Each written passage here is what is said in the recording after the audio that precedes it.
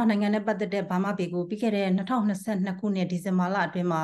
American Congress လွှတ်တော်ကအတည်ပြုပြဋ္ဌာန်းလိုက်ပါတယ်။စက်တိုက်ဆိုသလိုပဲအမျိုးသားညီညွတ်ရေးအစိုးရ NUG ရဲ့နိုင်ငံခြားရေးဝန်ကြီးဌာနရုံးကိုလည်း American နိုင်ငံနယူးယောက်မြို့မှာဖွင့်လှစ်ခဲ့ပါတယ်။ဒီနောက်ပိုင်းမှာတော့တရုတ်နိုင်ငံဘက်ကလှုပ်ရှားမှုတွေစက်တိုက်ဆိုသလိုလှုပ်ဆောင်လာပါတယ်။ငြိမ်းချမ်းရေးနဲ့နယ်မြေတည်ငြိမ်ရေးဆိုတဲ့ခေါင်းစဉ်အောက်မှာစစ်ကောင်စီနဲ့မြောက်ပိုင်းကတိုင်းသားလက်နက်ကိုင်အဖွဲ့တွေကြားကိုယ်တိုင်ဝင်ရောက်ညှိနှိုင်းတာတွေအထိလှုပ်ဆောင်လာတာပါ။ဒီဖြစ်စဉ်တွေဟာတော်လှန်ရေးကိုအချိန်မြင့်တော့မယ်ဆိုတဲ့အနေအထားမျိုးမှာတိုက်တိုက်ဆိုင်ဆိုင်ဖြစ်လာတာတွေပါသိတာထင်ရှားဆုံးကတော့တရုတ်နိုင်ငံသားရေးဝန်ကြီးချင်းကန်းရဲ့ပထမအဆုံးသောနေပြီးတော့ခီးစဉ်ဖြစ်ပါတယ်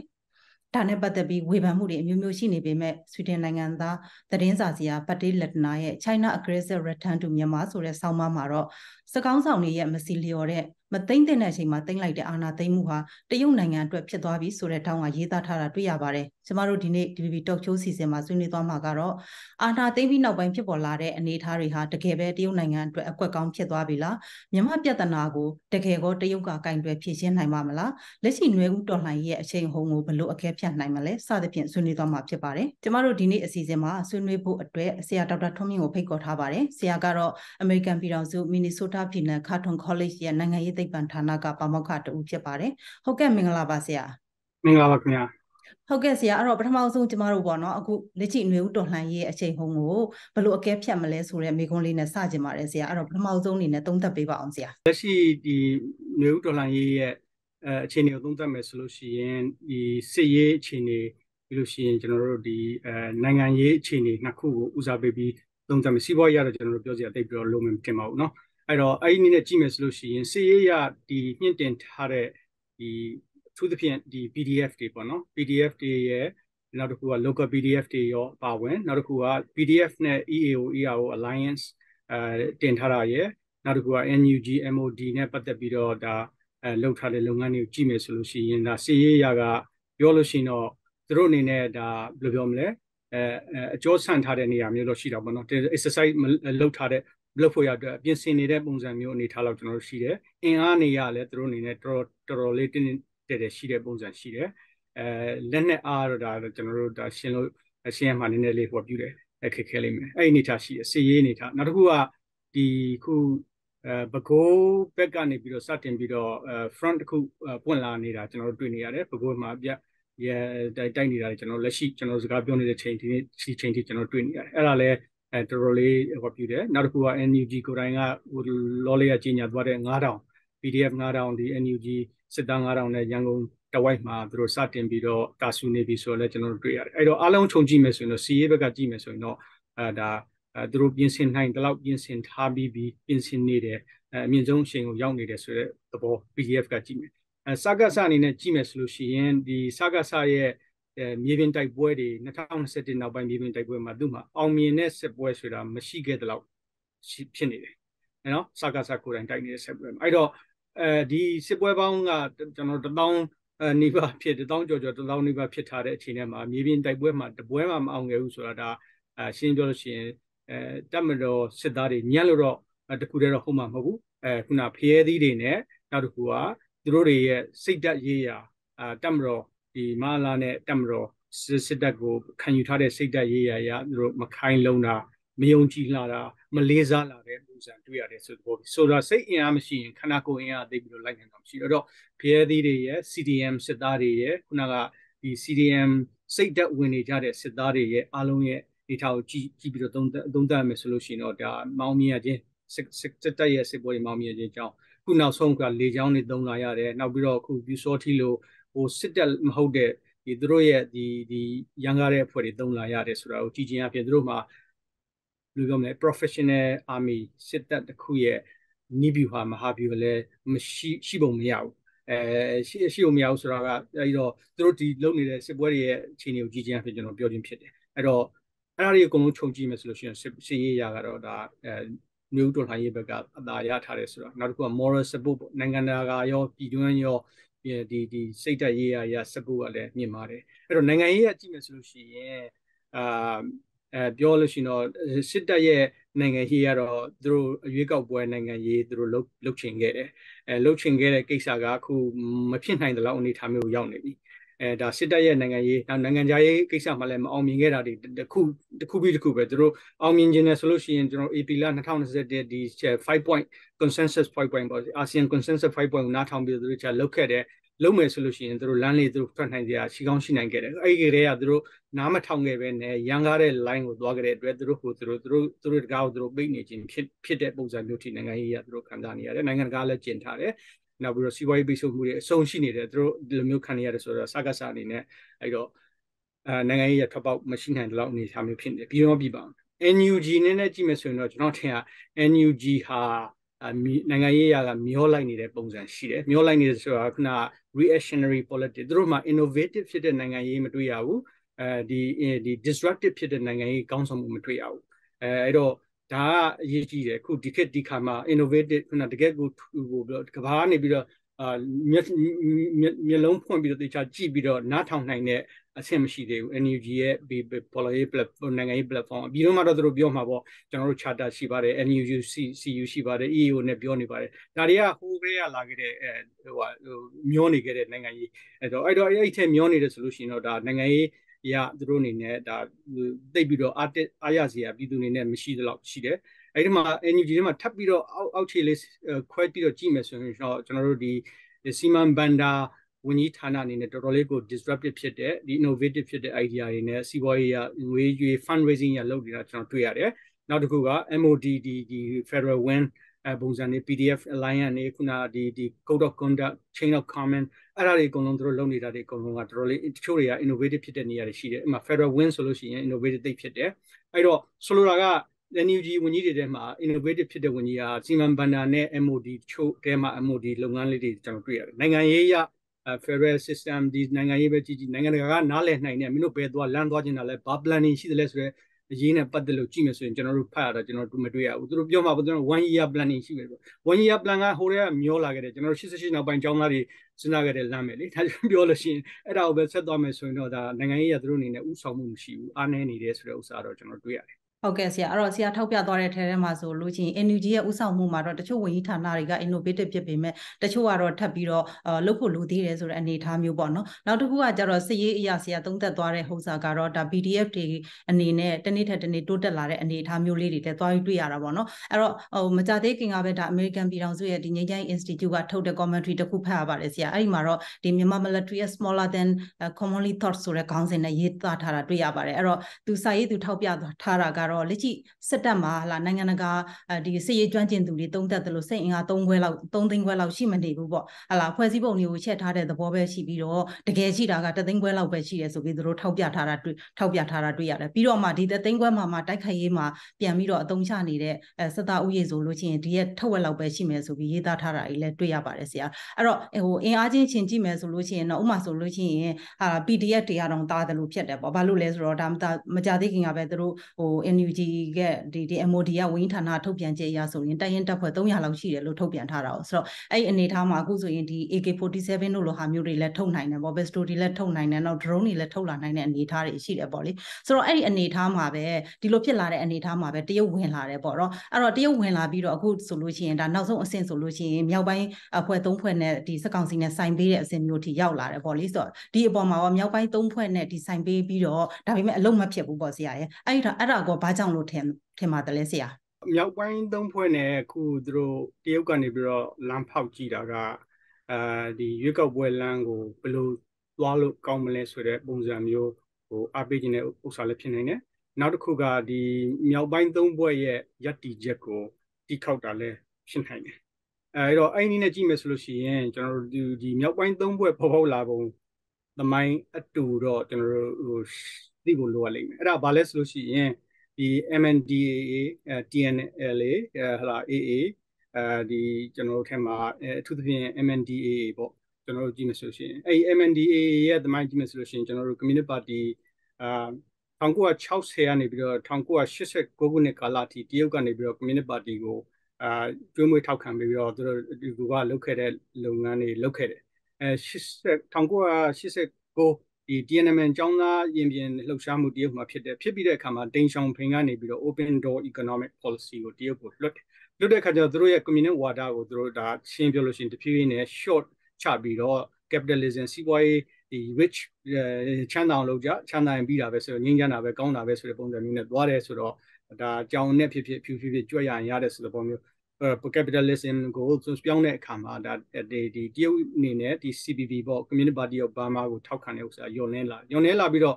1989မှာပဲအဲ့ဒီ CPP လေးကွက်ကွက်ထွက်သွားတာဟုတ်မလားအဲ့တော့ National Democratic Army ကရင်ကချင်ပေါ့နော် MNDAA ပြီးလို့ရှိရင်ခုန NDAA ပြီးလို့ရှိရင်ဝအဲ့တော့ဒီလေးကွက်ကွက်ထွက်တဲ့ထဲမှာဒီ MNN ခု MNDAA ကဒီသုံးဘွဲ့တွေမှာပါတယ်နော်သုံးဘွဲ့ဒီဒီတရုတ်ကနေပြီးတော့တီးခေါက်တဲ့သုံးဘွဲ့တွေမှာပါတယ်ဆိုတော့ အဲ့တော့ MNDAA ရဲ့သမိုင်းကဘာရှိသလဲဆိုလို့ရှိရင်ကျောင်းတော်ကရန်ညိုးပုံစံမျိုးကျွန်တော်တို့ကြည့်မယ်ဆိုလို့ရှိရင် MNDAA ကိုဒီမဟာလာကိုယ်တိုင်ဒီ2000အစောပိုင်း2000ခုနှစ်ဒီအစောပိုင်းမှာမဟာလာကိုယ်တိုင်ကဒီရွှေတရိကန်နယ်မြေ commander ဖြစ်ခဲ့တယ်ဖြစ်ပြီးလို့ရှိရင်တဖြည်းဖြည်းနဲ့အဲ့ MD ကိစ္စမှာသူကိုယ်တိုင်လက်တွေ့ရှင်းခဲ့တာရှိတယ်2009စစ်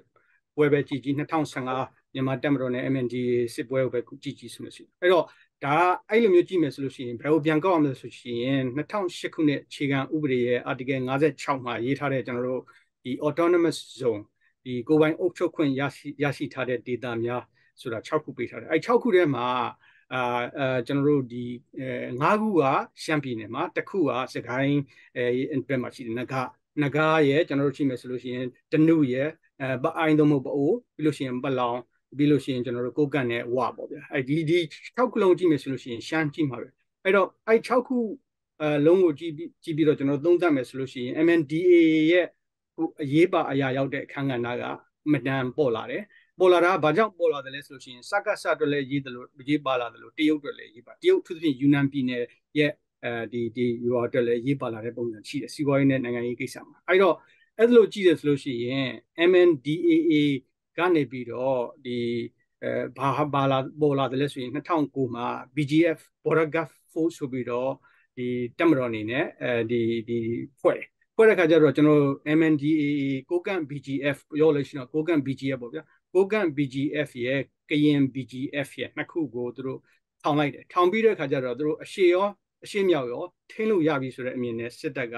မင်းအမလာရဲ့စစ်တပ်ကအဲ့ဒီနည်းနဲ့ချီတက်ခဲ့တာဒီဒီကိစ္စတွေကိုရှင်းဖို့ရတော့ အဲ့ဒီမှာဘာသွားတွေ့တယ်ဆိုရှင် MNDA မှာသူကအဲ့2009စစ်ပွဲပြီးတဲ့အခါမှာအဲ့ဘယ်လိုမလဲ clan ဆိုတော့ဒီဒီအမျိုးနွယ်လေးဘွဲကကွက်ထွက်ပြီးတော့ BGF ထောင်တယ်အဲဖန်ချရှင်နဲ့အခုလက်ရှိ MND ခေါင်းဆောင်တချို့က BGM မထောင်ဘဲနဲ့မအလာကိုဆက်တိုက်နေတယ်အဲ့တော့ပြောရလို့ရှိရင်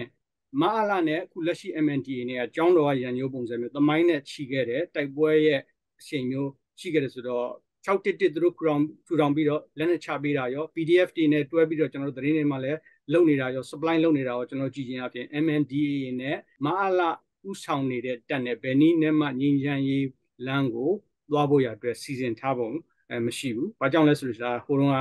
တဲက PGF ကိုသူတို့ညှစ်ဆိုခဲ့တယ် PGF ဆိုရင်ဆိုရင်ဖန်ချရှင်ကိုရှင်းပြောလို့ရှိရင် losses hand တို့မို့ concert တို့လို့ပေါ့ဗျာ အဲခင်ဗျားတို့အခုဒေါ်လာနေတာတွေဖြုတ်ချလိုက်ရန်ကုန်လာပြီးစီးပွားရေးလုပ်လို့ရတယ်ဟဟလား concert ဆိုလဲ1996မှာသူ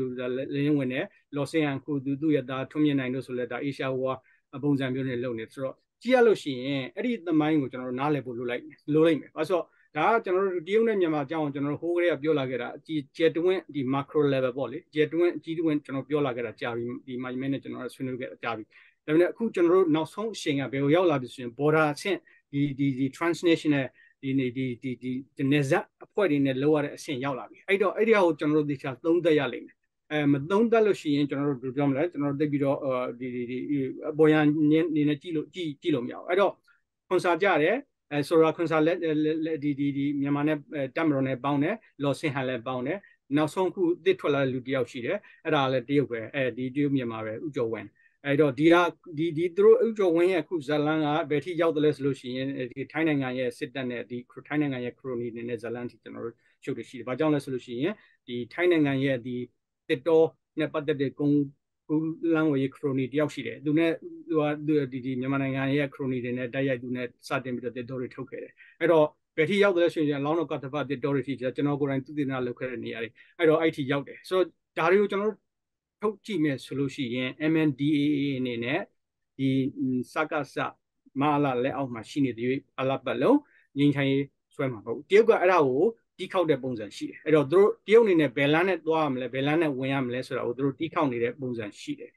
အဲအဲ့တော့တရုတ်သွားခြင်းတဲ့လမ်းကတော့လမ်းသစ်ဖောက်နေတဲ့ပုံစံ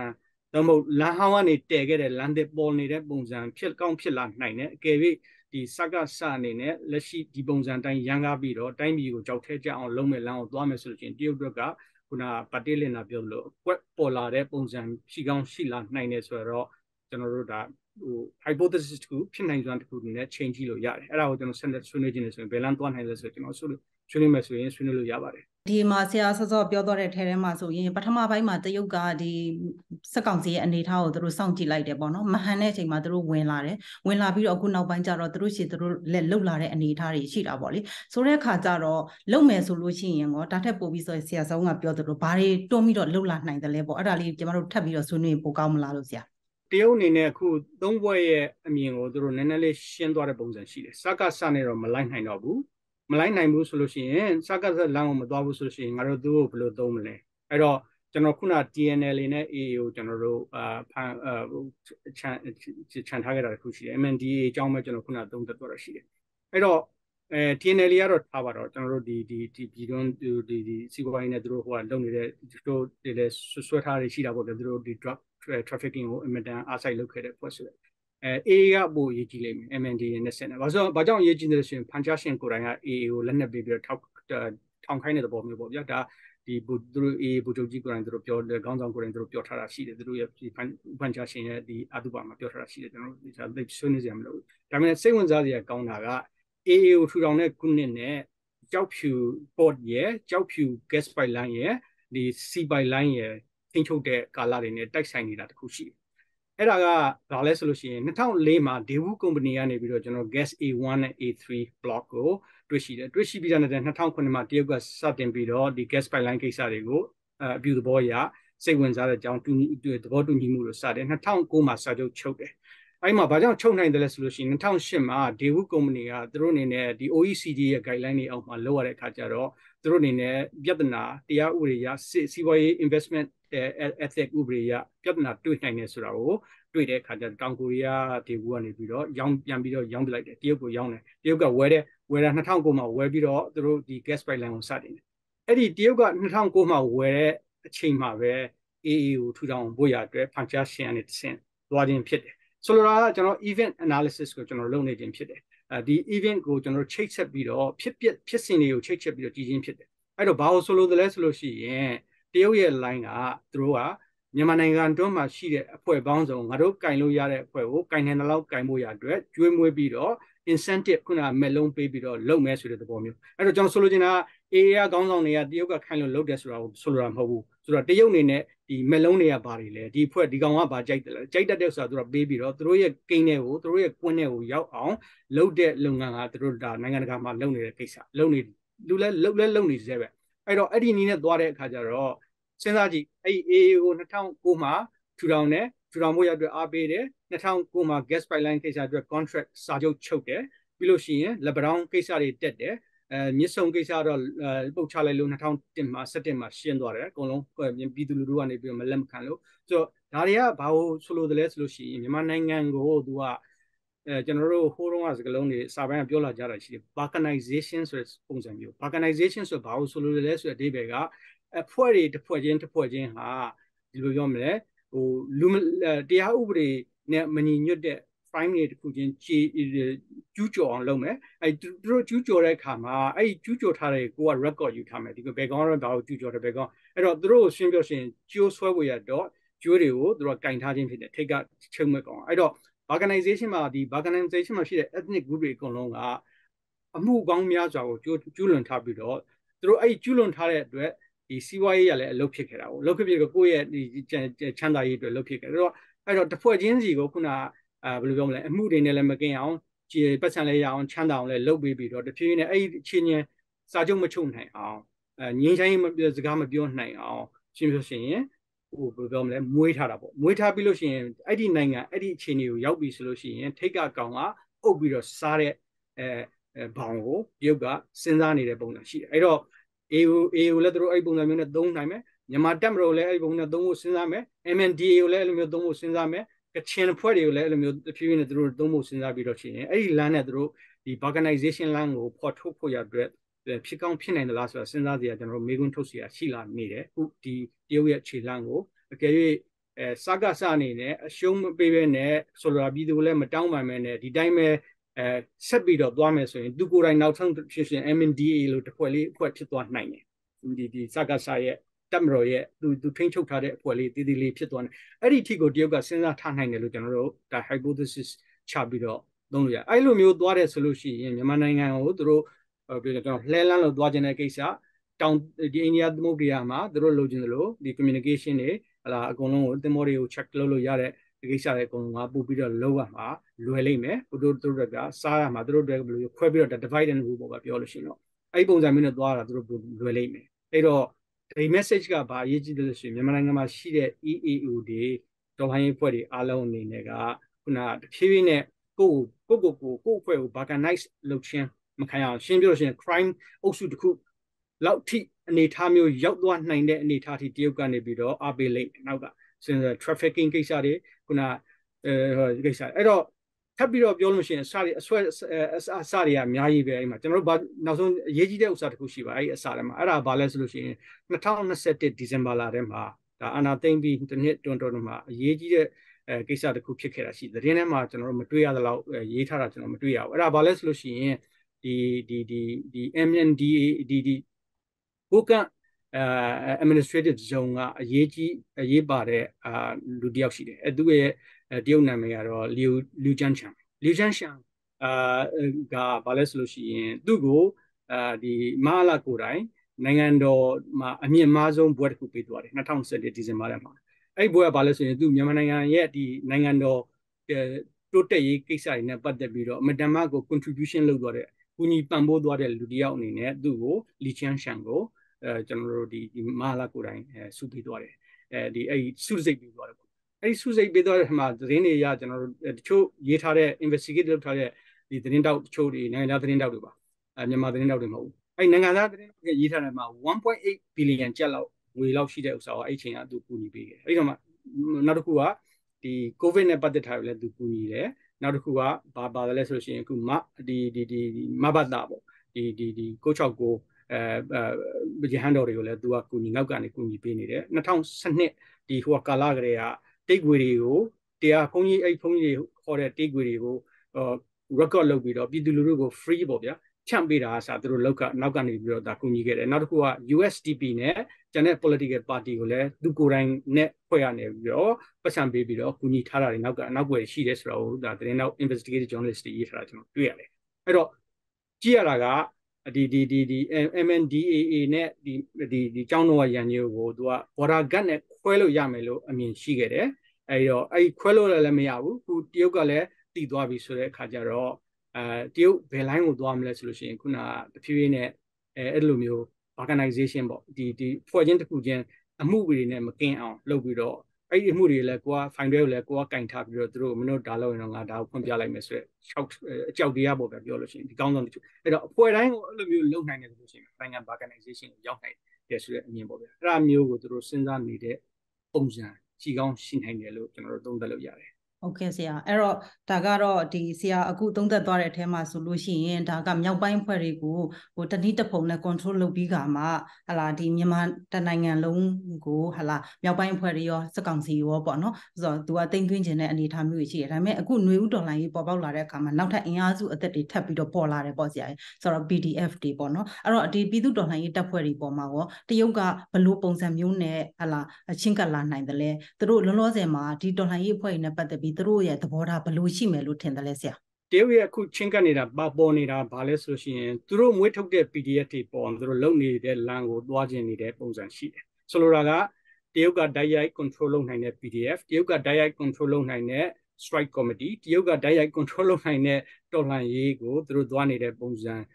ရှိခဲ့တယ်ဆိုတော့တဖြည်းဖြည်းနဲ့ပေါ်လာတယ်ဆိုတော့ကျွန်တော်တို့တွေ့ရင်တွေ့ရ။ဘာကြောင့်လဲဆိုလို့ရှိရင် MNDA က611ဖွဲ့ပြီးတော့ ခုနကလက်နက်ပေးတာတွေကစသူတို့ဟောပြုနေတယ်အဲလက်ခံထားနေတယ်အားပေးနေတယ်နောက်ဟိုဘက်ကလည်းမီဇာတစ်ဖက်ရေမုတ်တစ်ဖက်လို့ပြောပြောခဲ့တဲ့စကားလုံးလည်းရှိပါတယ်ဒီ NDA အဲ့ပုံစံမျိုးနဲ့သူတို့ဒါလုပ်နေတယ်တရုတ်နေတယ်အဲ့တော့ PDF ကိုလည်းသူတို့ခုဘလောက်လောက်ထိဝင်ထားပြီးတော့အဲဘလောက်လောက်ထိလူတွေပေးထားပြီးတော့ငွေတွေပေးထားပြီးတော့သူတို့ရဲ့လမ်းကိုရောက်အောင်လုပ်နေတယ်လဲဆိုတော့လည်းမေးစရာတွေအများကြီးရှိတယ်ကျွန်တော်တို့ပြောရမယ်ဆိုလို့ရှိရင်အဲ့တော့ဒါကတရုတ်ရဲ့ကျွမ်းကျင်တဲ့အဲအကွက်ပေါ့ဗျာပြောလို့ရှိရင်သူက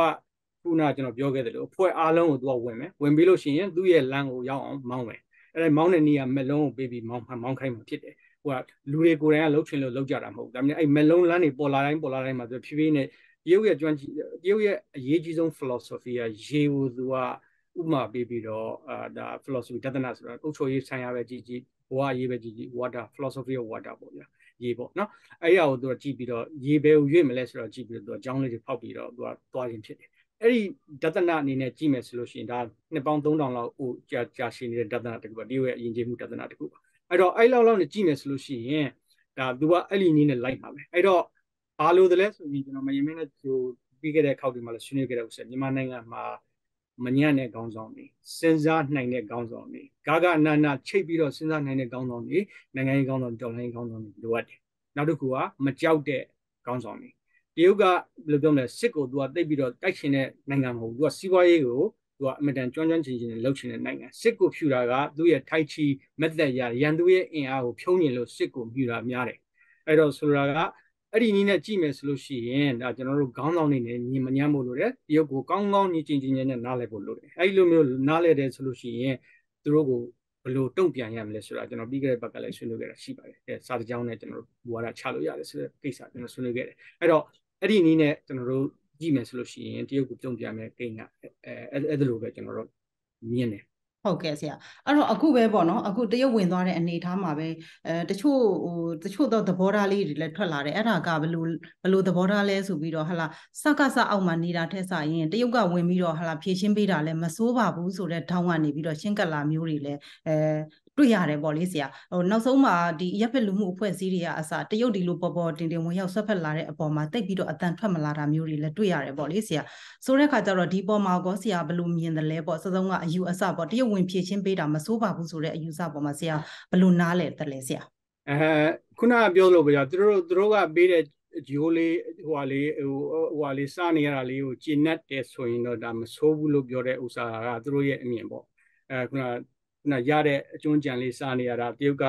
ဒီဒီဒီဒီဒီဒီဘယ်လိုပြောမလဲမက်လုံးတွေပေးပြီးတော့မက်လုံးလမ်းနဲ့ဖောက်ထားကြားမှာစားနေရတာလောက်ကိုပဲသွားမယ်ဆိုရင်တော့ဒါဒီလိုမျိုးကောင်းဆောင်တဲ့သွားမယ်ဆိုတရုတ်ကတိတ်လို့ကျင်တာပေါ့အဲ့လိုမျိုးအာဘော်တွေပြောနိုင်တဲ့တွေးခွန်နိုင်တဲ့ပညာရှင်တွေဟလာ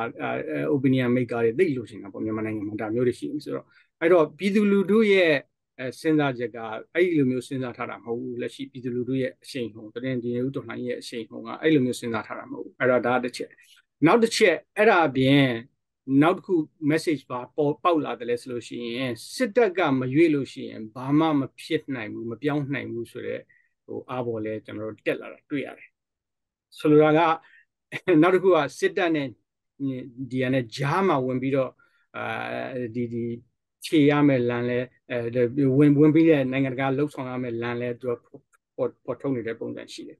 အဲ့ဒီ message နှစ်ခုလုံးကဘယ်လာနိုင်တယ်လဲဆိုရင်တရုတ်နဲ့စကားစဒီဒီ intelligent နဲ့ဒီဉာဏ်ဉာဏ်ရေးပွဲစားတွေဇက်ခုံကလာနိုင်တဲ့ဥစ္စာဒါဆိုဒါရှင်းပြောရှင်တချင်းဟောင်းကိုပြန်ပြီးတော့ဖွင့်ပြတဲ့သဘောမျိုးပါပဲအဲဒီအဲ့တော့ဒါတစ်ချက်အဲ့တော့အဲ့လိုမျိုးကျွန်တော်တို့စဉ်းစားမယ်ဆိုလို့ရှိရင်အဲတရုတ်ခါသူကိုယ်တိုင်ကအာဏာရှင်တရုတ်နိုင်ငံကိုယ်တိုင်မှာကသူ့ရဲ့ social bond ပေါ့ဒီဒီဒီတော်လိုင်းရေး ကိစ္စတွေပြည်ပြည်တော့မှာပြည်သူလူတရုတ်ပြည်သူလူတို့ရဲ့ဒီဘယ်လိုမလဲမပြောရှင်တဲ့ဒီဒီ CCB ရဲ့လက်အောက်မှာမပြောရှင်တဲ့ကိစ္စတွေကတဖြည်းဖြည်းနဲ့သူကအာစူးစီးနေရတာကိုစူးစီးနေရတဲ့စူးစီးနေရဆိုတော့သူငြင်အောင်လုပ်နေရတာကိုဒီထဲမှာအဲ့ဒီအချိန်မှာသူကဒါနိုင်ငံခြားအာ entity တခုကိုနိုင်ငံတနိုင်ငံကိုကိုရန်သူလို့ဟလာ ကိုယ့်ရဲ့ otherness လို့ကျွန်တော်တို့ပြောပြောလက်ညှိုးထိုးပြခြင်းတယ်အမှားသူတို့သူတို့အလုပ်ခဲ့တဲ့အမှားတွေကိုပေါ့ဗျာအမှာ covid နဲ့ပတ်သက်တဲ့ management တွေမှားခဲ့တယ်စီးပွားရေးခုလို့ဒီ jet မှာတော့လို့တကယ်ကိုတော်တော်တဲ့တရုတ်ဒီကျွမ်းကျင်တဲ့စီးပွားရေးပညာရှင်တွေကိုဖမ်းပြီးတော့ CCB ရဲ့ ideology နဲ့ဒီတို့ပြောပါ school လောက်ခဲ့တာပေါ့ဒီဒီ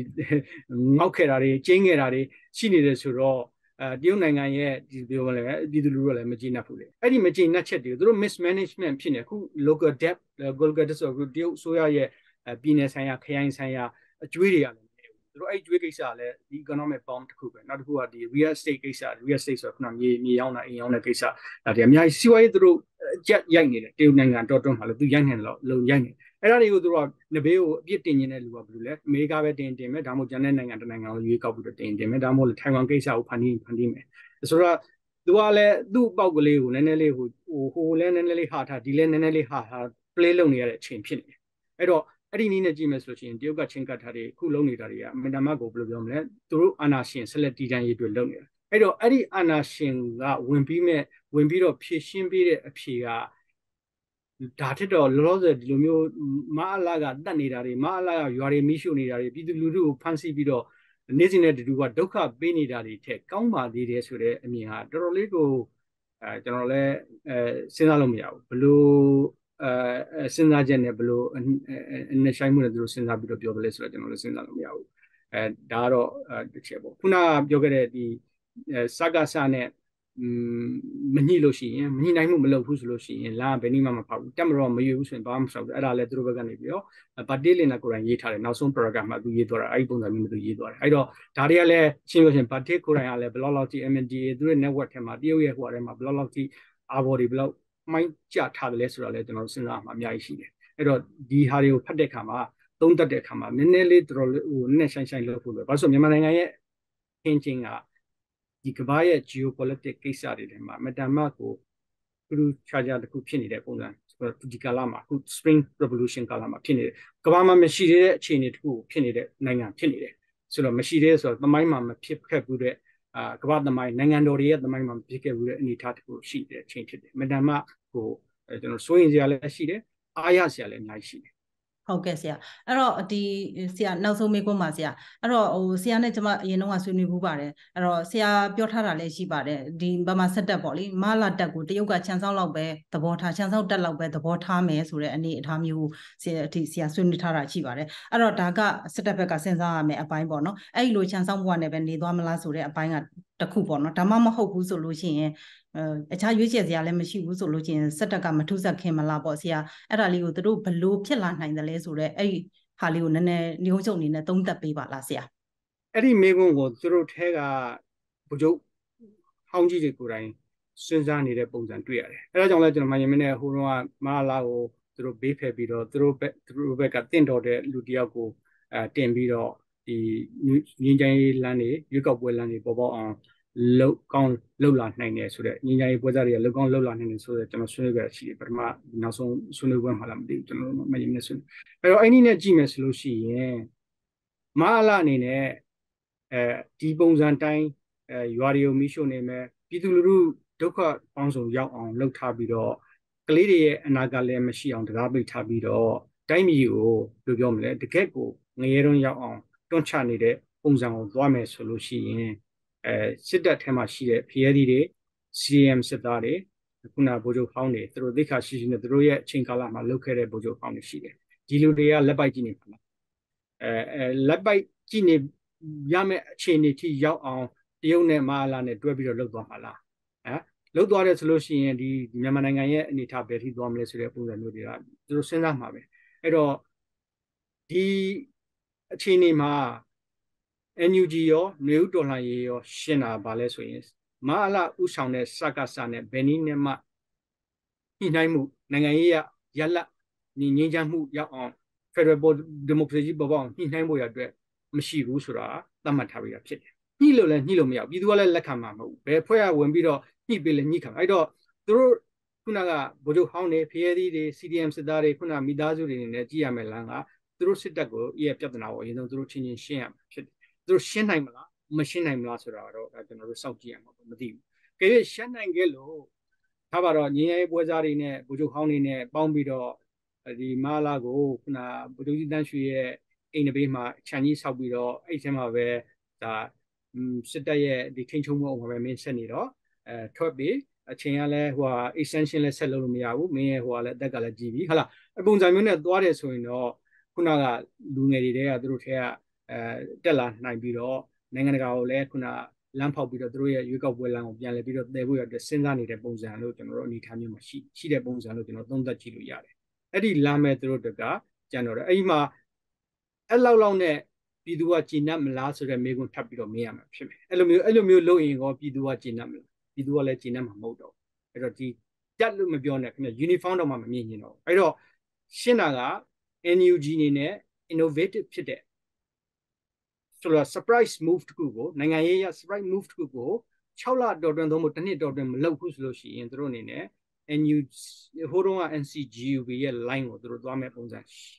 မျောနေတဲ့ပုံစံလောက်ရှိတယ်ဒါနဲ့ဒါအားလုံးခြုံပြီးတော့ကြည့်တချို့ဝန်ကြီးဌာနတွေကျုပ်ဝန်ကြီးတွေလက်ခံမှာတော့မဟုတ်ဘူးကျွန်တော်ထင်ကြည့်ရတာ NUG ထဲမှာဟိုဖက်မြက်တဲ့ကောင်းဆောင်ရှိပါတယ်ဝန်ကြီးဌာနတွေခုနကကျွန်တော်လည်းချို့ရှာပိုင်းလည်းကျွန်တော် point out လုပ်သွားတယ်အဲ့တော့အဲ့ဒီအနေထားမှာရှိနေတယ် NUG အနေနဲ့အဲပြည်သူလူထုရောကမ္ဘာပြည်သူလူထုရော မမျှော်လင့်ထားတဲ့ land တစ်ခုကိုဖောက်ဖို့လိုအပ်တယ်အဲ့ဒါနဲ့ပတ်သက်လို့အကြံပေးနေတဲ့လူတွေလည်းရှိတယ်ပေးထားတာတွေလည်းရှိတယ်အဲ့တော့သူတို့အနေနဲ့အဲ့ဒါကိုမလုပ်ဘူးဆိုလို့ရှိရင်ဒီတိုင်းပဲထိုင်ဆောင်တဲ့တရုတ်ကနေပြီးတော့ဂျာဝန်ပြီးတော့ဖြည့်ရှင်းပေးမယ်အမေရိကနေပြီးတော့ဂျာဝန်ပြီးတော့ဖြည့်ရှင်းပေးမယ်အာဆီယံကနေဂျာဝန်ပြီးတော့ဖြည့်ရှင်းပေးမယ်လမ်းကြောင်းကိုလိုက်တယ်ဆိုလို့ရှိရင်တော့ဒါဘယ်နည်းနဲ့မှသူတို့တော်လှန်ရေးလုပ်တာမဟုတ်ဘူးတော်နိုင်ငံရေးကိုထိုင်ဆောင်နေတဲ့ပုံစံနဲ့သွားနေတဲ့ပုံစံဖြစ်တဲ့အတွက်သိပြီးတော့ ဇလန်တော့ထူးမှာမဟုတ်ဘူးဟိုကတိတ်ဝေဟောင်းကိုပြန်ဖွင့်တဲ့ပုံစံ1988 1990ရွေးကောက်ပွဲနောက်ပိုင်းအဲတိတ်ဝေဟောင်းကိုပြန်ဖွင့်တဲ့ပုံစံရောက်သွားမဲ့လမ်းကိုသူတို့အာပို့တဲ့ပုံစံဖြစ်သွားလိမ့်မယ်တော်လိုင်းလုပ်တဲ့လမ်းကိုသွားတာပုံစံပေါ့တော်တော့ PDF နဲ့ပြည်သူလူထုရဲ့အင်အားနဲ့လက်ရှိခုဒီ debate committee တွေပြည်တွင်းမှာရှိနေတဲ့တော်လိုင်းအင်အားစုတွေအားလုံးရဲ့ CDM စစ်သားတွေ CDM ရုံးလုပ်သမားတွေရဲ့အရွေးကဘာလဲဆိုတော့ကျွန်တော်ထပ်ကြည့်ရမှာဖြစ်တယ်စောင့်ကြည့်ရမှာဖြစ်တယ် ခုတချို့အရွေးတွေလည်းအဲနည်းနည်းလေးလှုပ်လာတယ်လည်းရှိနေတယ်လှုပ်နေတာလည်းကျွန်တော်တွေ့တယ်အဲ့ဒီအနေထားရောက်နေတဲ့ချိန်လို့ကျွန်တော်တို့ဒါအာပြောမှာပေါ့အဲ့ဒီချိန်ကတော့မင်တန်မတ်ကိုနင်လားငါလားဘယ်ဘက်ကအကွက်သစ်ကိုရွေ့မလဲဆိုတဲ့အနေအထားမျိုးဖြစ်နေတဲ့အချိန်ပေါ့ဗျာဟုတ်ကဲ့ပါဆရာဟုတ်ကဲ့အဲ့တော့ဒါနဲ့ပတ်သက်ပြီးတော့နောက်ထပ်တော့ထပ်ပြီးတော့အစတွေဆွဲထုတ်ပြီးတော့ထပ်ပြီးတော့ဆွေးနွေးစရာတွေတော့အများကြီးရှိပါတယ်ဒီနေ့တော့ဒါဒီအချိန်တိုင်းတာရပါတော့ဒီမှာနေကုန်းချုပ်မှာဖြစ်ပါတယ်အဲ့တော့ ဒီကျမတို့ဒီ season မှာဒီနေ့အဲဆရာဝင်ပြီးတော့ဆွေးနွေးပေးတဲ့အတွက်လည်းအထူးကျေးဇူးတင်ပါတယ်ပရိသတ်ကိုလည်းကျေးဇူးတင်ပါတယ်ရှင်ကျမအမြင့်မြတ်ကြီးပါ